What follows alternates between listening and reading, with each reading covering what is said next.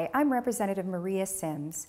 As your representative, I passed more bipartisan legislation this term than any other new legislator, with wins for our teachers, small business, healthcare, veterans, and public safety. It is possible to work across the aisle and put people before politics or party.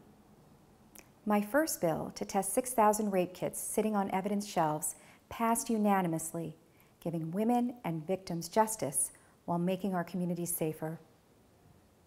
My efforts to lower prescription drug costs resulted in unanimous bipartisan passage of my bill increasing price transparency and lower cost options for patients.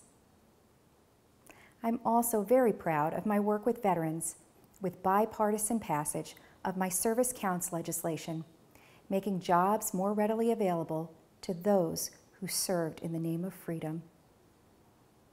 I'm also focused on protecting our children and passed a law to keep them safe from online predators.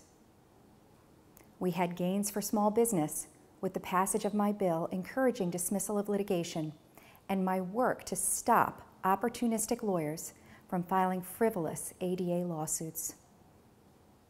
The legislature also made big wins with the Opioid Epidemic Act and a $1.5 billion historic investment in education, including a 20% raise for our teachers. I plan to build on these successes as we continue to move Arizona forward with continued job growth, quality education, and safer communities. I would be honored to continue to serve you and have your vote again. Thank you.